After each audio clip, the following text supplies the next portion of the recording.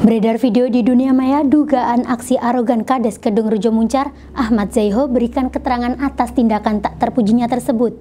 Alasan mendatangi rumah warga dan bersikap arogan lantaran mendapatkan laporan tak menyenangkan dari salah satu tokoh masyarakat bahwa tokoh tersebut menerima telepon dari Kanit Reskrim Polsek Muncar dan telah terjadi tindakan anarkis serta terjadi onar di rumah warga Prasetya Wijaya. Berikut liputannya. Lagi-lagi, jagat sosial media digegerkan dengan viralnya video arogansi oknum kades yang diketahui identitasnya merupakan kepala desa Kedung Rejo, Kecamatan Muncar, Banyuwangi. Menanggapi persoalan video viral dugaan arogansi kepala desa Kedung Rejo Muncar, Ahmad Zaiho berikan klarifikasi.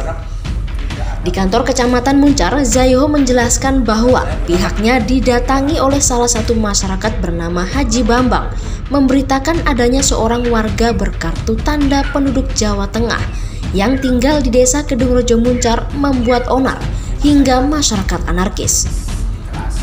Lantaran menerima informasi bahwa warga yang dilaporkan tersebut tidak pernah bersosial dan mengenal lingkungan, maka Ahmad Zaiho mendatangi warga terlapor tersebut pada Jumat malam bersama istrinya guna mengamankan warganya. Menurut penjelasan Zaiho, Haji Bambang sempat menghubungi melalui saluran telepon akibat terdesak oleh Kanit Reskrim Polsek Muncak. Pasalnya, Haji Bambang menjelaskan jika Kades tak kunjung datang maka akan terjadi bahaya. Eh, pada hari Jumat sore sekitar jam 3, saya didatangi oleh tokoh masyarakat namanya Haji Bambang. Oke, datang ke saya bahwa kenapa pemerintahan desa kok tidak responsif terhadap kejadian yang terjadi di wilayah kami, di wilayahnya Haji Bambang. Ada apa Pak? Ada seorang warga, itu bukan warga desa Gedung Rejo.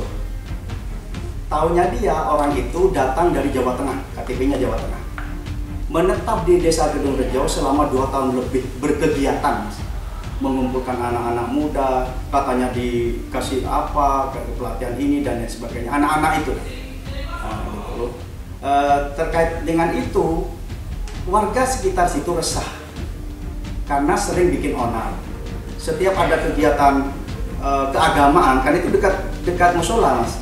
Dia tuh gejreng-gejreng nyanyi-nyanyi dan lain sebagainya orang itu juga menurut informasinya Cibambang ini juga tidak sosialisasi, tidak mengenal lingkungan. Habis maghrib, saya ditelepon lagi sama Pak Bambang. Gimana Pak?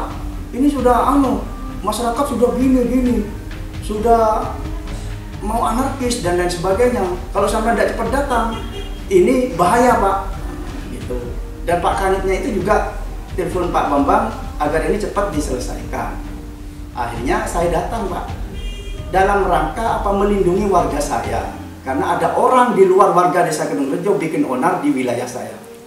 Sementara itu, terduga korban arogansi Kades, Prasetya Wijaya, di kediamannya RT 4 RW 1 Kedung Rejo Muncar, membantah warta yang diterima sang kepala desa.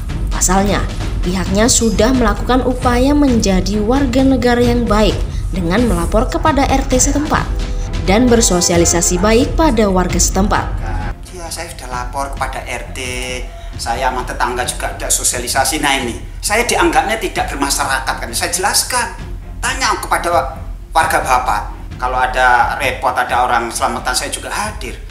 Enggak 100%, kalau disuruh 100% ngabdi, ya mana bisa, saya punya waktu untuk yang lain gitu loh. Enggak bener sampai itu kalau untuk saya tidak ada masyarakat, tidak bermasyarakat itu tidak bener merasa diintimidasi dan diinterogasi oleh sang kades dengan bahasa tubuh yang arogan, membuat pihaknya mengaku tak nyaman. Beberapa awak media pun mendatangi rumah Haji Bambang guna mendapat informasi atas namanya yang disebut-sebut oleh Kades Kedung Rejo Ahmad Zaiho mulai dari telepon dan pesan WhatsApp yang diduga tidak berani merespon. Dalam video berdurasi 19 detik tersebut, terlihat tokoh Haji Bambang nampak melerai kades yang tengah melakukan aksi arogan dan menenangkan pemilik rumah tersebut. Tim Liputan Banyuwangi TV melaporkan.